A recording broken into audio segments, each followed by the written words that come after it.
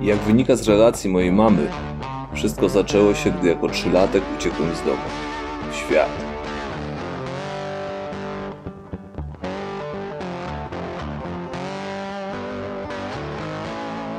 Dwadzieścia trzy lata później kupiłem swojego pierwszego Harley'a.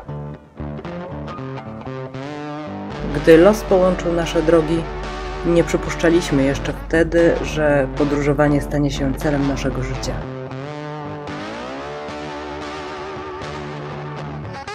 Po kilku europejskich wyprawach przeskoczyliśmy przez Atlantyk.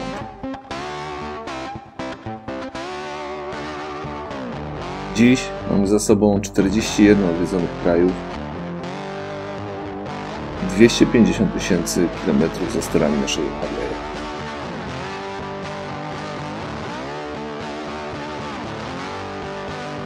Nie wyobrażamy sobie podróżowania po świecie w inny sposób niż na dwóch kołach.